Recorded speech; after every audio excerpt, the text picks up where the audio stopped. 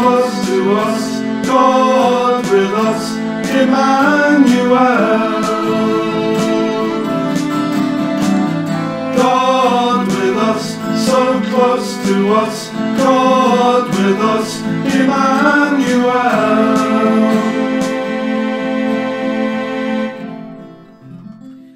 Good morning, everybody, and welcome to this service of worship for Heywood Baptist Church.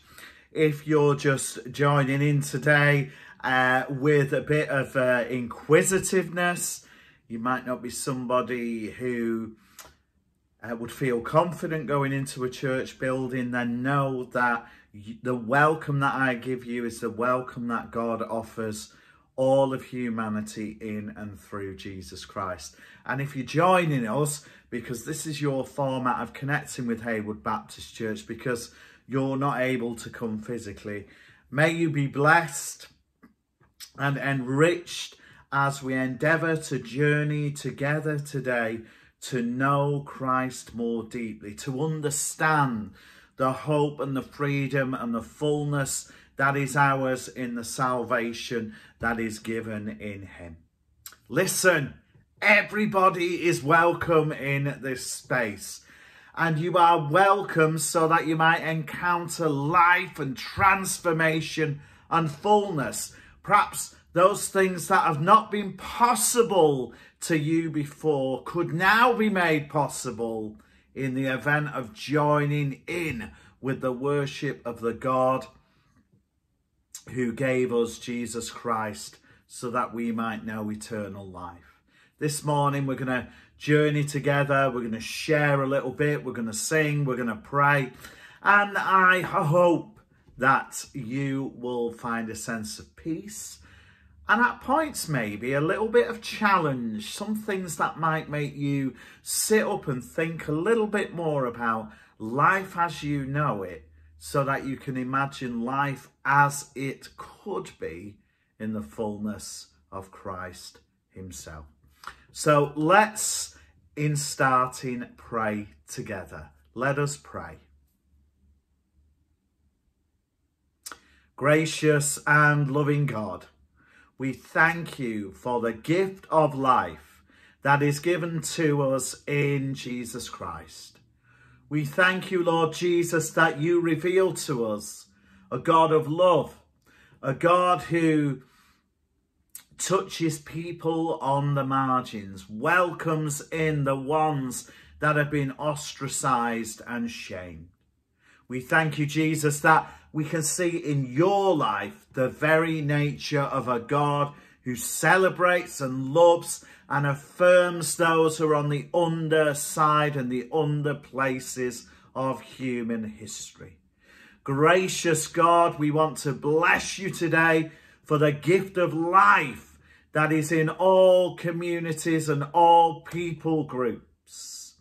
We pray this morning, especially for members of the trans community who will have felt very under pressure this week by what is going on with the Gender um, Recognition Reform Act in Scotland and the blockages coming from the UK government. Perhaps that sense or feeling of being used as a political pawn in some kind of power play. And so we pray for those who are trans or those who are questioning their gender, that you will be close to them at this time. And so, God, we bless you and thank you for the rich variety and diversity of life that is all around us. And we thank you, Jesus, that you are the one who demonstrates to us by breaking down legalistic rules and regulations that it is people that matter the most to the heart of God. So, Holy Spirit, fill us and change us and renew us together this morning, for we ask this in Jesus' name. Amen. Amen. So we're going to go over and uh, have a song of worship now. Uh, do listen to that song if you're not familiar with Christian type worship songs. Uh, but, you know, if you're someone who, who's come to the church or been familiar with church environments, please do join in singing as well or just use it as quietness and prayer. I'll be back with you in a few moments.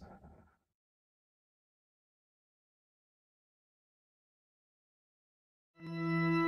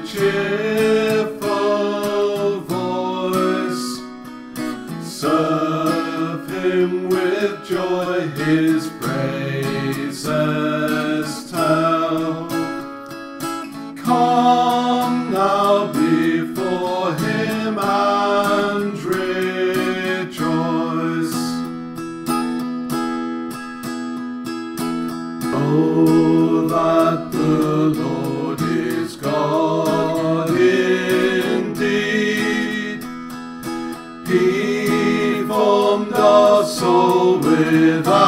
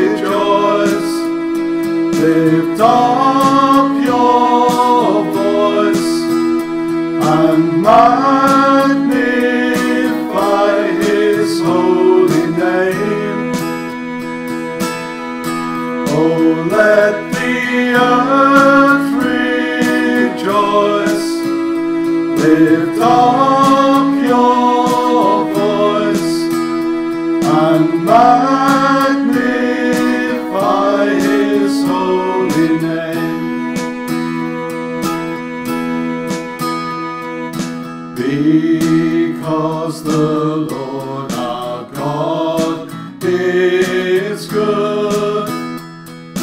His mercy is forever sure.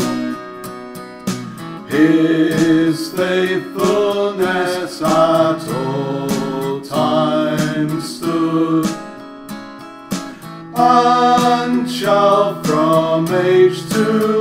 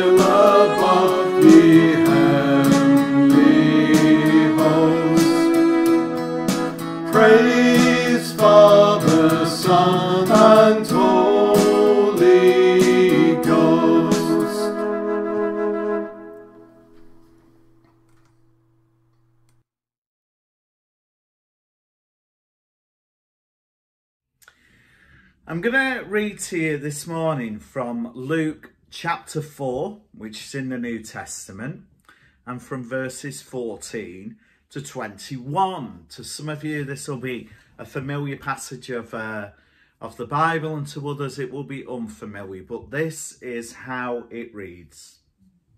Jesus returned to Galilee in the power of the Spirit, and news about him spread through the whole countryside. He was teaching in their synagogues and everyone praised him. He went to Nazareth where he had been brought up and on the Sabbath day he went into the synagogue as was his custom. He stood up to read and the scroll of the prophet Isaiah was handed to him. Unrolling it, he found the place where it is written, the Spirit of the Lord is on me, because he has anointed me to proclaim good news to the poor. He has sent me to proclaim freedom for the prisoners and recovery of sight for the blind, to set the oppressed free, to proclaim the year of the Lord's favour. Then he rolled up the scroll, gave it back to the attendant and sat down. The eyes of everyone in the synagogue were fastened to him. He began by saying to them, Today, this scripture is fulfilled in your hearing. Amen.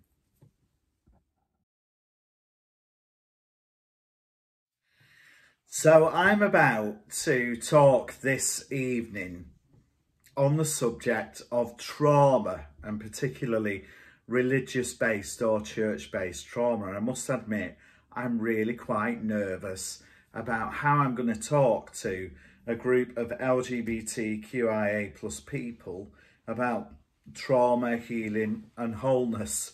But I was selected to do it because I wasn't present in a meeting where I could object, have objected to doing it. But it's got me thinking about Jesus and what was Jesus all about? Because a lot of people nowadays will see the church as being about anything but what Jesus was truly about.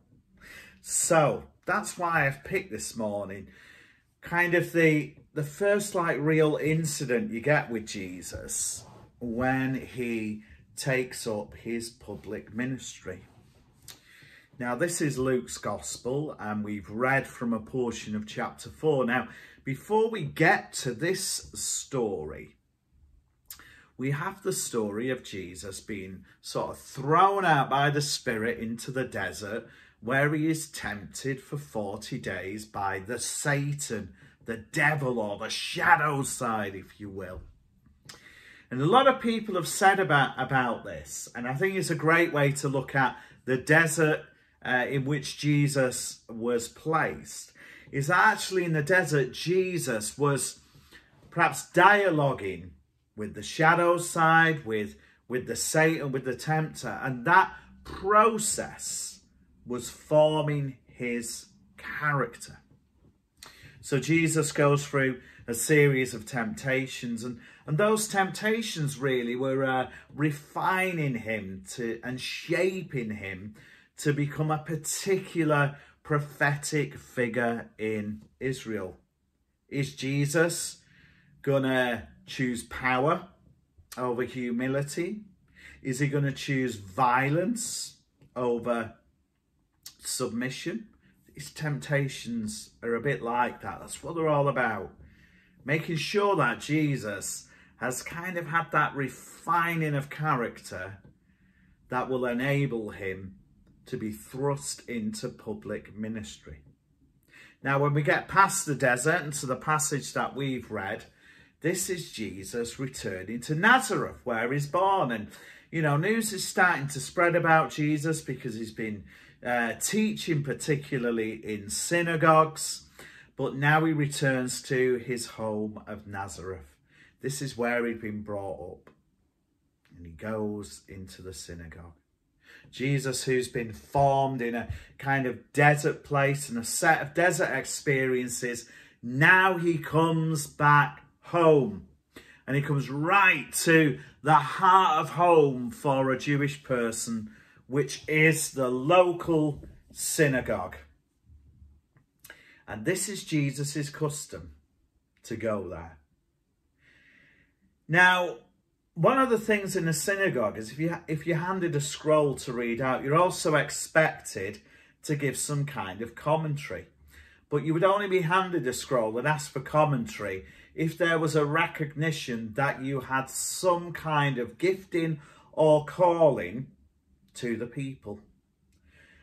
So in the leaders of the synagogue giving Jesus the scroll, they're acknowledging that he has a wisdom upon him for teaching others. Of course, that's what he's becoming famous for at the moment in all the other synagogues, like an itinerant wise preacher. And Jesus picks up the scroll, or is handed the scroll of the prophet Isaiah. Now, the interesting thing is, he will have been handed the whole scroll of Isaiah. And so it's really key to understand that Jesus deliberately finds this passage. He intentionally earths his ministry, his life, his way in a particular prophetic scripture. Maybe this scripture reads out as what those temptations had kind of brought him to understand. So Jesus was formed in the desert and he now earths himself in prophetic scripture. And here's what he reads The Spirit of the Lord is on me because he's anointed me to proclaim good news to the poor. He has sent me to proclaim freedom for the prisoners recovery of sight for the blind, to set the oppressed free, to proclaim the year of the Lord's favour.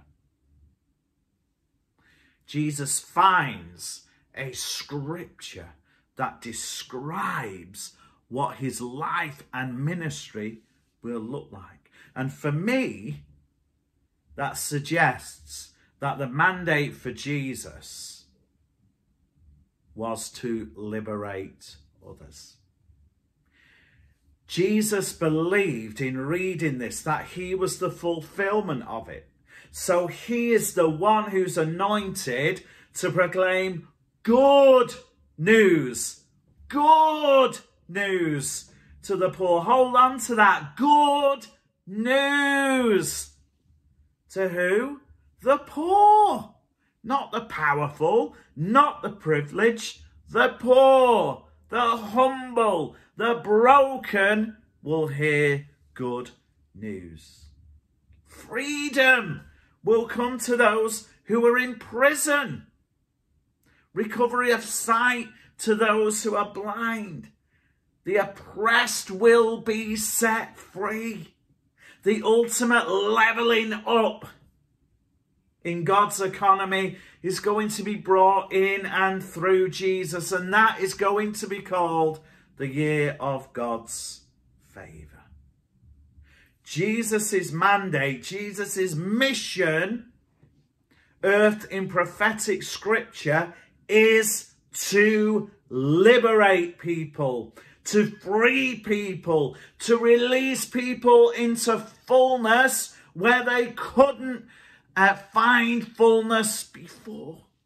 Jesus is going to rip apart all these barriers of exclusion to the poor and the prisoners and the blind and the oppressed. And he's going to open God's kingdom to all. That year of favour will come to all.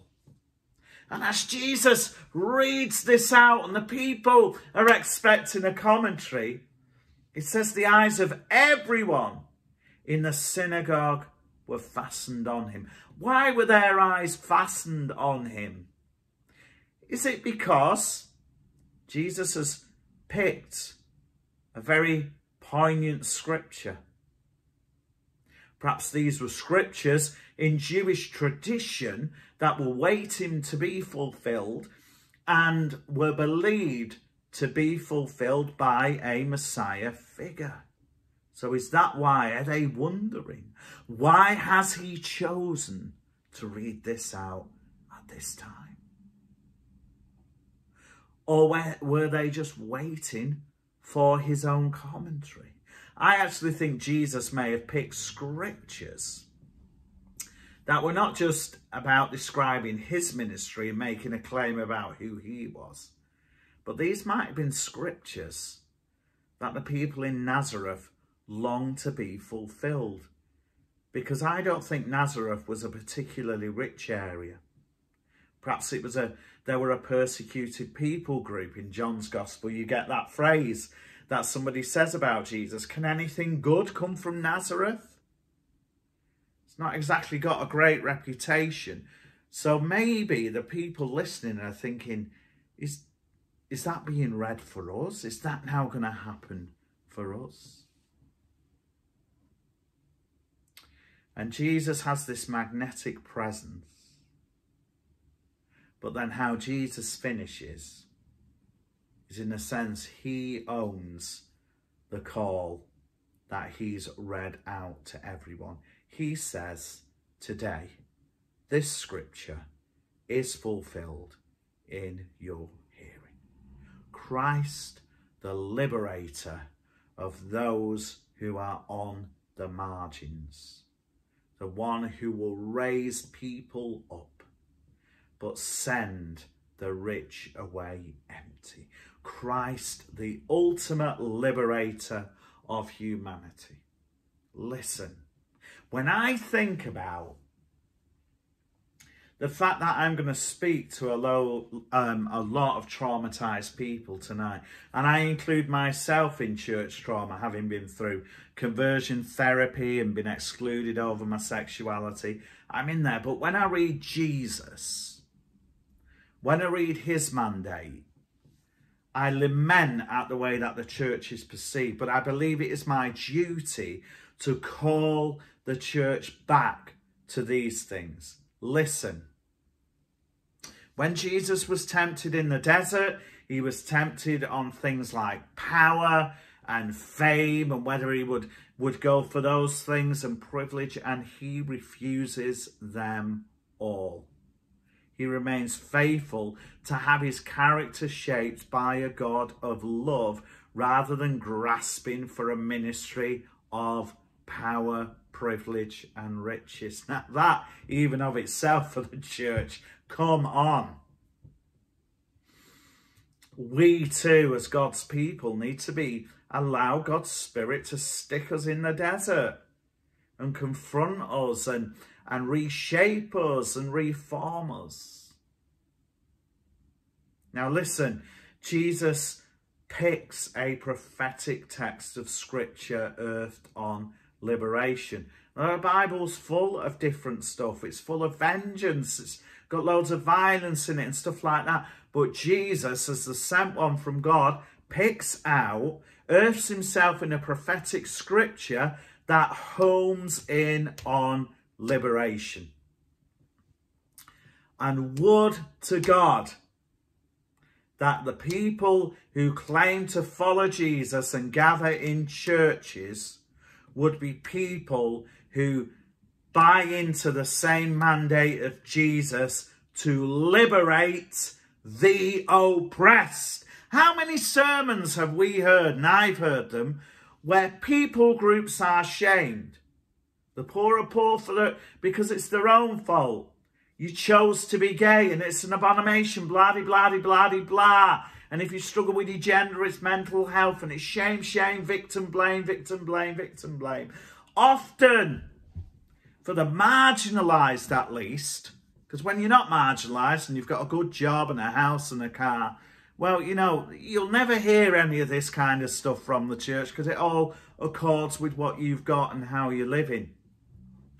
But listen, I don't think, on the whole, uh, the church follows Jesus. And sometimes it's an embarrassment to watch the debates in things like the Church of England around sexuality, where the world as, at large has fled the church thinking it's, you know, a relic from the past. Listen, here's what Jesus says he was going to do. He was going to proclaim good news to the poor. Good news. Good news.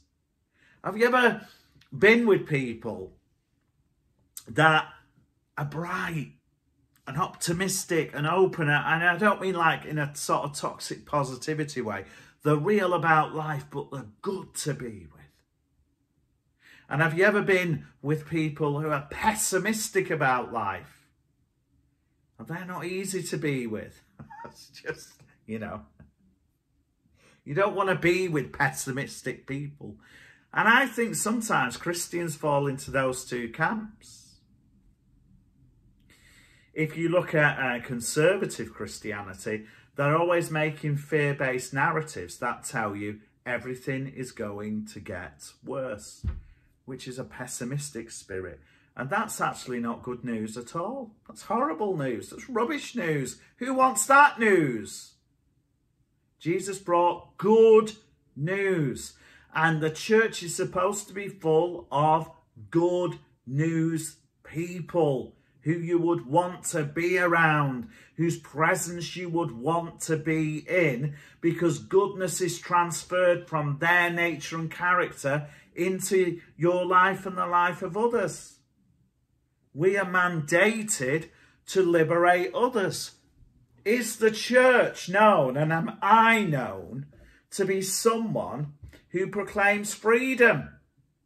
Or do I go and get someone in prison to shame, make them pray a prayer and then give them a load of rules again? Make sure you're holy enough now. Make sure you're living in the light of Christ now.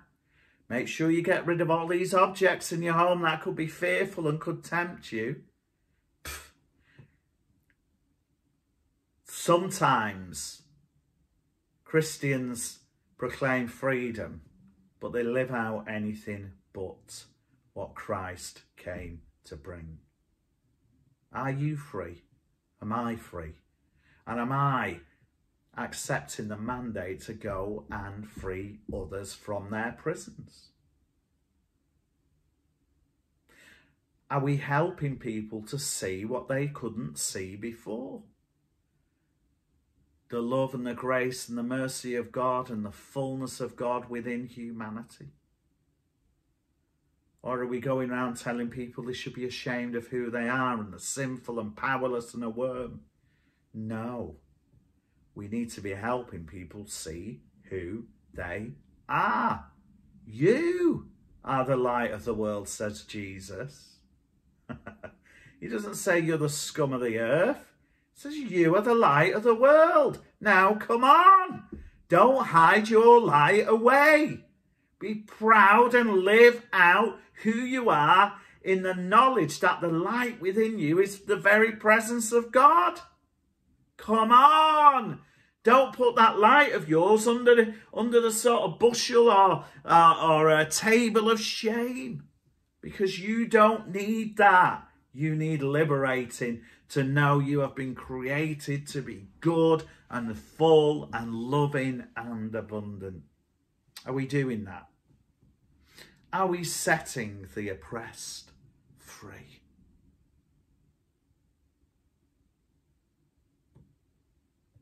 Or are we doling out trauma unawares by our insistence that if you've got faith, you can't doubt. If you believe these doctrines, you can't question them. In some ways, that ends up oppressing you doubly from before. Are we a people who proclaim that there is a favour from God for people? Are we? And just as Jesus had this magnetic presence when he'd read that scripture, I want to ask the question have we got a magnetic presence in this world? Are we good at looking at scripture and knowing that these are the things that the Spirit is wanting this world to hear? Or are we better at preserving tradition and theological uh, doctrinal ways than we are at letting God highlight through scripture what our mandate ought to be. I wonder what the average person would say if we asked them, what do you think the mandate of the church is to be? And do you think they're doing it? Now, come on. I've got to talk this to myself. I'm talking it to you and I'm talking it to the church. Are we fulfilling a mandate in such a way that there's a magnetism and attraction to that which calls itself church? And I suppose the ultimate challenge to me and to you and to all those that name the name of Christ is just as Christ owns his call by claiming he fulfills the scripture is read out. Are we willing to own this call? This call to be a people that are released into this world to bring liberation to those who have been told that is not possible for them. I hope and pray that we would grab hold of something of the heart and mission of Jesus Christ and as God's people work to reflect that and bring that to pass in our world so that God's kingdom might be fully seen. Amen.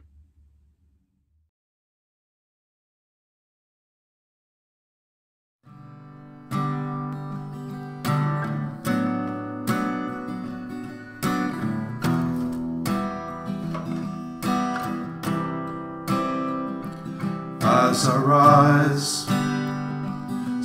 Strength of God, go before, lift me up as I wake. Eyes of God, look upon, be my sides.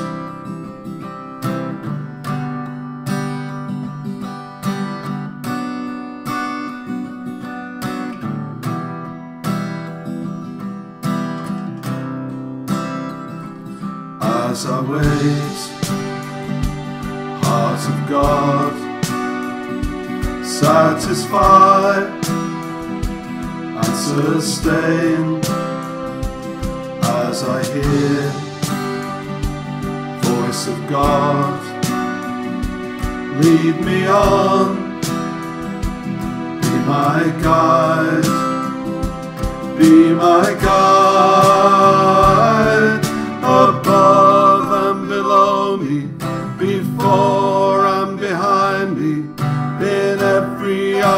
sees me, Christ be all around me, above and below me, before and behind me, in every eye that sees me, Christ be all around me.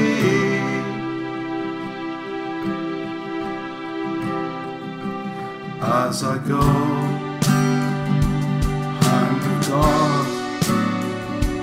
My defense, by my side as I rest.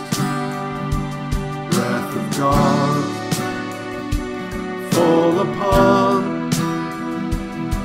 me peace, bring me peace above and below me, before and behind me, Christ be all around me, above and below me, before and behind me, in every eye that sees me. Christ be all around me. Oh,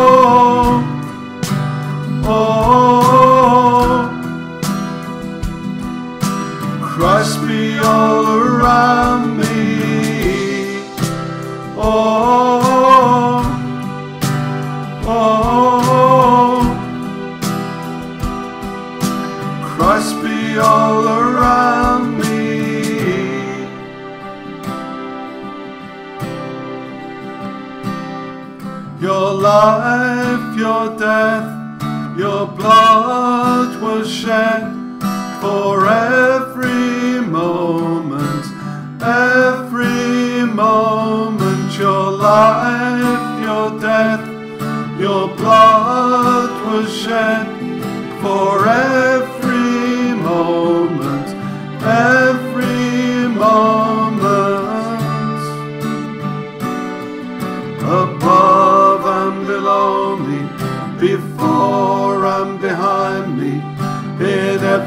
eye that sees me. Christ be all around me, above and below me, before and behind me, in every eye that sees me. Christ be all around me. Oh,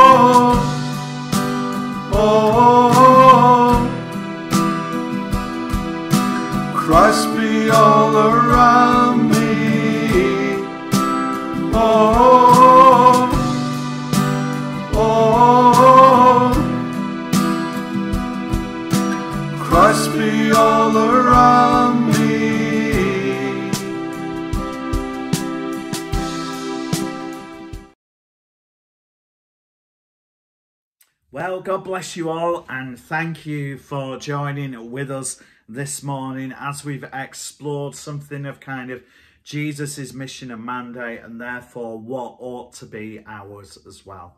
I pray you've been encouraged and challenged. Now, that sermon probably went a bit more at those who claim to know Christ. But what I do want to say before we say the words of the grace to one another is that if you as someone who's who is on the underside of history. You're someone who's been bound by poverty or you've been in a prison of shame or you're not able to see clearly the things that others think you should see clearly. You feel oppressed and you feel tortured and you feel traumatized. Christ is risen and he is here for you to come to you and to speak to you and affirm you and bring you into the sphere of God's love, grace and favour. So don't hesitate today to call upon Jesus and to ask him to liberate you so that you might be able to see and enjoy life in all its fullness. And God's people led us to take that joyful, favourable good news into our world. Let's finish by saying the words of the grace to one another. May the grace of our Lord Jesus Christ and the love of God and the fellowship of the Holy Spirit be with us now and evermore. Amen. Amen. God bless you all. Enjoy your weeks, and I shall see you again next week. God bless.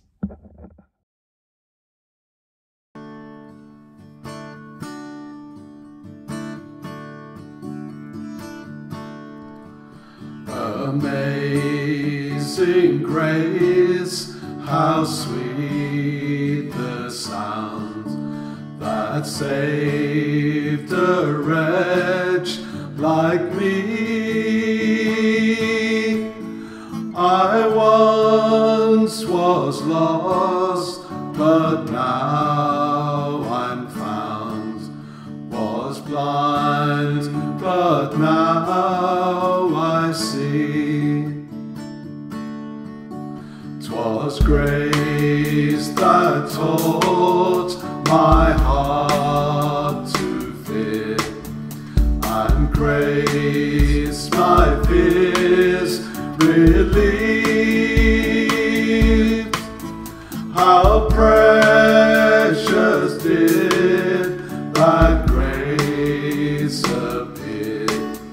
the hour I first believed.